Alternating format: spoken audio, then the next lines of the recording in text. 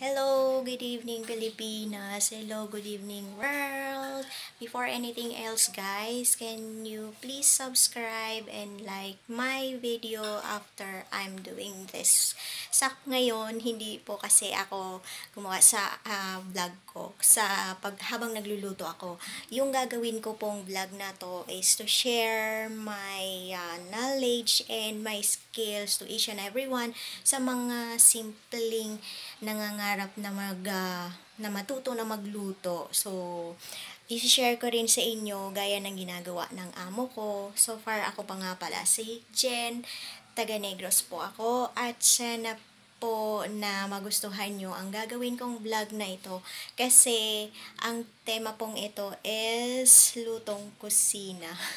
yun ang ano ko po. Kasi, isi-share ko lang po yung mga natutunan ko while na nagluluto ako. Kasi, nagtatrabaho po ako dito. Ako ngayon sa San Juan at uh, isang employer po na napakabait, ma, napakamabait. Para hindi na ako marunong magtagalog as well. Pero, mas gusto ko kasi mag-Ilonggo kaysa mag-Tagalog.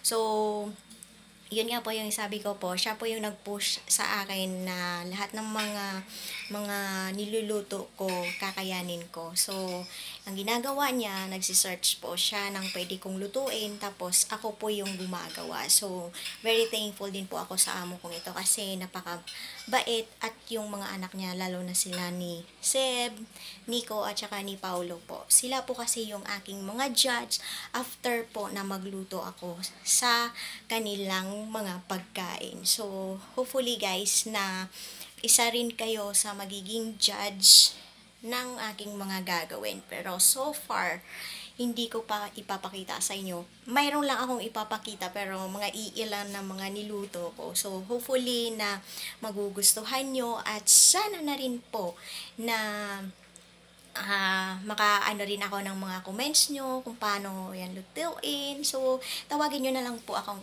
Ate Jen kasi mas gusto ko pang tinatawag nyo, tinatawag akong ate kaysa tawagin nyo akong Lola, charot.